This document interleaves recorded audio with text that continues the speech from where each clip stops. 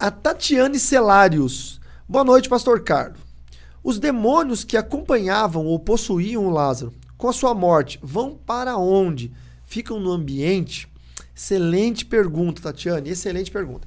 A Bíblia nos diz, no livro de Mateus, capítulo 12, a partir do verso 43 e subsequentes, que um espírito maligno, quando ele é expulso do corpo de uma pessoa, e aí entenda esse expulso, num processo de expulsão de demônios, um ministro do evangelho dando uma ordem em nome de Jesus e expulsando o demônio, ou no caso da morte desse corpo.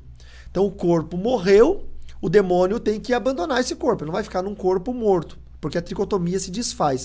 O que é tricotomia? Espírito, alma e corpo.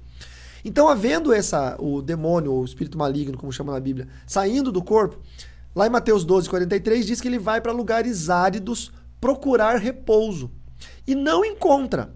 Então ele diz: Voltarei para a casa de onde saí. Agora tem um problema. Se ele foi expulso pelo poder do nome de Jesus, a casa que ele saiu, a pessoa ainda está viva. Ele volta, encontra a pessoa e aí vai ter uma, uma situação.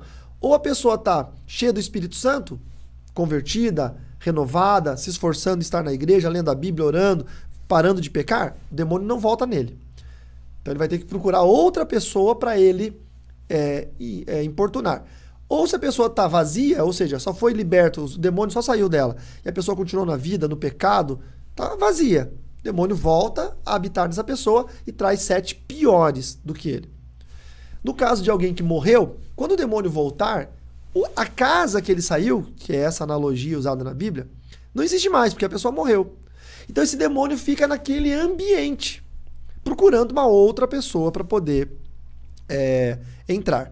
Como no caso do Lázaro, ele, ele era ligado a rituais de, de, baixa magia, nós vamos falar sobre isso. Alguma pergunta aí eu vi antes se ele era satanista ou não, então eu vou responder isso na, na, na pergunta quando ela surgir. É, como ele tinha essa ligação, são demônios já de, de panteões da baixa magia. Então eles voltam para aquele lugar de onde eles foram invocados. Se era num terreiro, num centro, os demônios que estavam nele agora voltam para aquele centro, para aquele terreiro, para que ali sejam invocados por outras pessoas. Tá?